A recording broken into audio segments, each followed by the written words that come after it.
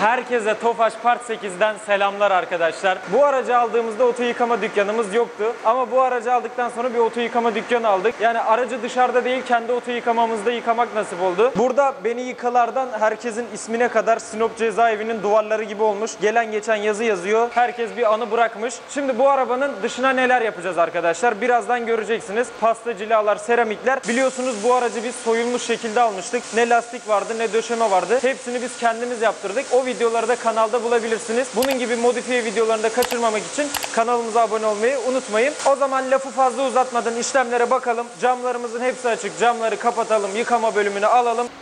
Öf. Şimdi sol taraf hızlı kapanıyor. Şoför tarafı Allah var. Çiçek. Şimdi arka tarafları da e, bu yeni Clio 5'lerin en boşunda olduğu gibi elimizle çeviriyoruz. Hani 220 bin TL olan araba. Burayı da çevirelim. İnşallah gerçek rengine kavuşacak. Gerçekten bu rengi çok beğeniyorum. Hani bu 98 Doğan Esler'de olan o vişne dediğimiz renk. Bu da pasta cilada harika parlıyor böyle içinde sim varmış gibi. Zaten birazdan göreceksiniz. Gelin şimdi aracımızı yıkamaya çekelim. Aracımız uzun zamandır burada olduğu için üstünde işlemler yaptık. Teybiydi, pandizotuydu vesaire. O yüzden aküsünde biraz zayıflıklar var. Biraz dolduralım. Size sinyalleri göstereyim. Sinyal verince sağa yanıyor. Merceklerimiz iptal oluyor Amerikan Park gibi. Şimdi sola sinyal vereyim. Bu şekilde. Dörtlüleri yaktığımız zaman da bu şekilde oluyor. Gerçekten bu sarı görüntü güzel oluyor. Aracımızı yıkama kısmına doğru alalım. Bismillah. 50.000 Teile transportiert im Honda Civic. Vakuum verpackt die Scheiße, weil ich kein Limit. Aylar sonra aracımız yıkanacak. Ee, arkadaşlar bir de size bir detayı belirtmeden geçemeyeceğim. Aynalar, katlanıyor. Bu çok önemli bir detay çünkü. Geri park sensörü ötmedi nedense. Büyük ihtimal olmadığındandır. Aracı yıkamaya çektik. Tazikli suyumuzla yıkayacağız. Normalde bu arkadaşlar araç elektronik bir araç değil. Mekanik bir araç. Motor kısmında falan çok bir sıkıntı olmuyor. Daha önce de tazikle motorunu yıkadık. Ama bizim RGB farlarımız, sislerimiz, ondan sonra hayalet göstergenin ekipmanları, motor kısmı bayağı elektronik oldu yani. O yüzden tazikli su tutamayacağız. Buhar makinesiyle ufaktan ufaktan bezle silerek motoru temizleyeceğiz. Şimdi bir araba kendini göstersin. Üstündeki tozu, pisliği atalım. Sonra da köpükleyip süngerleriz.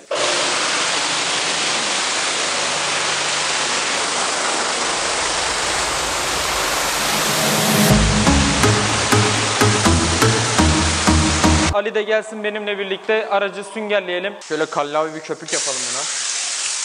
6 aydır bizde 6 ayda o kadar yağmur gördü, çamur gördü. ilk defa yıkanıyor. Vişne çürüğü çok hoş bir renk. Şu ana kadar yıkanmadığı için kendini gösteremedi ama siz de bu arabanın gerçek rengini gördüğünüzde hoşunuza gideceğine eminim. Bu arabaya nasıl kıyıp da satacağız? Kıyar mıyız? Aynalarda da şey var, yapışkan izleri var. Onları da bir yapışkan gidericiyle hemen alırız. APP'ler de duruyor ha. Ver kanka coşkuyu.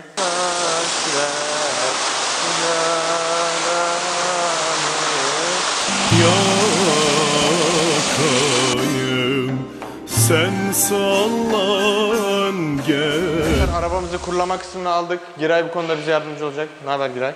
İyi abi senin ne var? İyidir. İyiyim sağ olasın. Furkan gel. Arabayı yıkanmış halde gördün Furkan. Evet. Ne düşünüyorsun? Hiçbir şey. Tamam Furkan kurula. Hadi.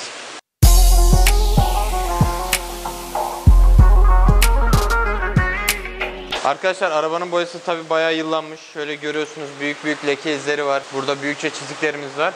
Pastacıyla seramikle en aza indireceğiz. Şöyle göstereyim. Taban beklediğimden çok daha kötü durumda. Şöyle yakından alırsan şu çizikleri görüyor musun? Araba baştan aşağı çizik. Şurada bir güneş yanığı var. Elimizden geldiği kadar arabayı kurtaracağız. Arabayı parlatacağız. Furkan'la Giray sağ olsun temizlediler. İçinde süpürelim. Aynen aynen öyle süpüreceğiz. Güzel temizleyeceğiz sonra cillop. Cillop mu? İyi hadi bak. Furkan boynum morarmış ya ne oldu? Akşam geç. Giray devam et. İyice bir süpürülsün arkadaşlar. En son tertemiz haliyle pastacılık kısmını alalım. Şimdi aracımızı ışık odasına çekelim. Yalnız aynalar da iyi katlanıyor. Pardon. Arkadaşlar araba emin olun ki neredeyse aylardır yatıyor ama hala tek marş hala tek marş yani. Motor yürüyeni efsane bir araba. Yani kendi arabamız diye söylemiyorum ama bu arabayı da yaptık yani. Pastacılığa işlemi yapıyoruz. Aradan bir, bir buçuk saat kadar geçti. Bir kısma yaptık, bir kısma yapmadık. Zaten klasik. Şöyle göstereyim arkadaşlar. Bu kısma yapmadık pastacılığa. Bu kısma da pastacılığa yaptık.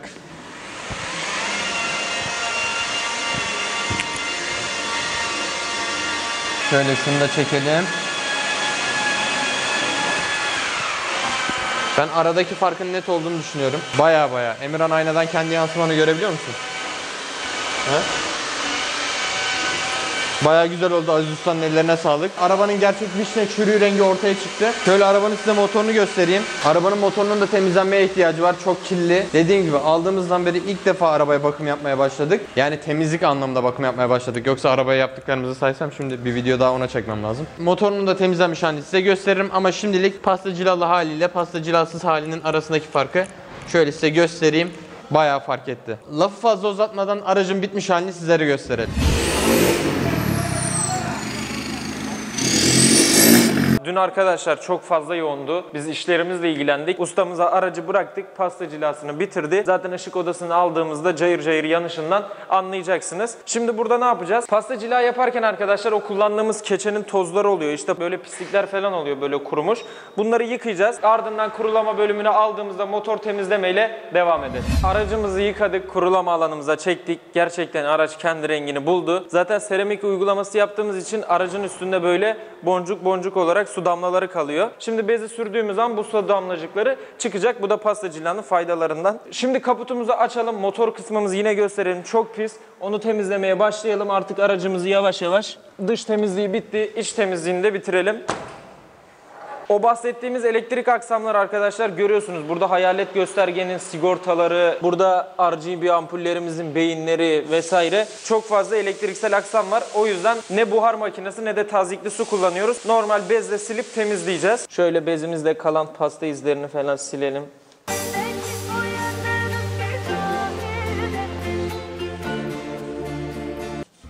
Şimdi o güzide paspaslarımızı silme vakti geldi. Şöyle güzelce silelim. Gerçekten çok güzel bu. Üstünde böyle bir plastik yapısı var. Altında da döşememiz tertemiz şekilde duruyor. Bu üstündeki plastiği de sildiğin zaman çiçek gibi çıkıyor. Yani ne deriye ne döşemeye hiçbir sıkıntı olmuyor. Güzel yani bunu benim BMW'yi falan da yaptırayım. Yani silince böyle, kirlenince böyle anında şöyle siliyorsun.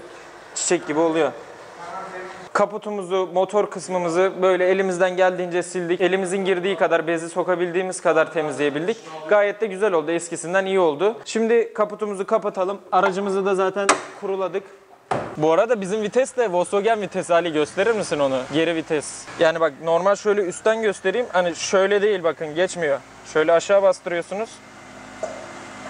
Böyle pololardaki gibi. Yani. Bu arada arkadaşlar sizler için harika bir çekilişimiz var. Biliyorsunuz oto yıkama dükkanı açtık. Oto yıkama dükkanının açılışının şerefine de siz değerli takipçilerimize hediye verelim istedik. Vereceğimiz hediyeler arkadaşlar bir kişiye seramik kaplama paketi, bir kişiye pasta cila paketi, bir kişiye de iç detaylı temizlik paketi. Bunları kazanmak için yapmanız gerekenler çok basit arkadaşlar. Aşağıdaki Instagram hesabından detayları öğrenebilirsiniz. Şimdi aynamızda tabii ki aslar rengiyle geldiği için kaportacıya girdi boyanması için. Boyanırken de camına gelmemesi açısından böyle bant yapıştırmışlar.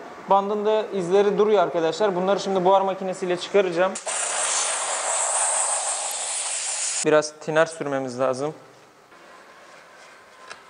Şöyle tertemiz oldu. Bu videomuzda arkadaşlar aracımızı temizledik, motorunu temizledik, dışına pastacıyla seramik uygulamamızı yaptık. Bu zamana kadar bu araca bir sürü şey yaptık. Elektrikli aynalardan, hayalet göstergelerden, mercek farlar, seramik kaplamalar, döşemeler birçok detay var. Bu detayları da fiyatlarını sizlere söylememiz gerekiyor. Hepiniz çok merak ediyordunuz. Diğer satıyoruz videosunda bu araca ne kadar harcadığımızı ve ne kadar istediğimizi sizlere söyleyeceğiz. Çünkü takipçilerimiz arasından da bu aracı almak isteyen çok kişi var. Bu kadar ekstralı bir araç olmasına rağmen arkadaşlar piyasanın çok altında vereceğiz. Maksat bizim için böyle güzel değişik bir içerik yapmaktı. Güzel bir şeyler ortaya çıkarmaktı. Yani soyulmuş bir şekilden bu şekilde aracı getirdik. Özel şeyler de yapmaya çalıştık denenmemiş. Kendi el emeğimizle yaptık. Normalde pandizotçuya, ses sistemciye gidince bagajlar vesaireler yapılırdı. Ama hepsini burada kendi yıkamamızda yaptık. Farlarımızı kendi garajımızda yaptık.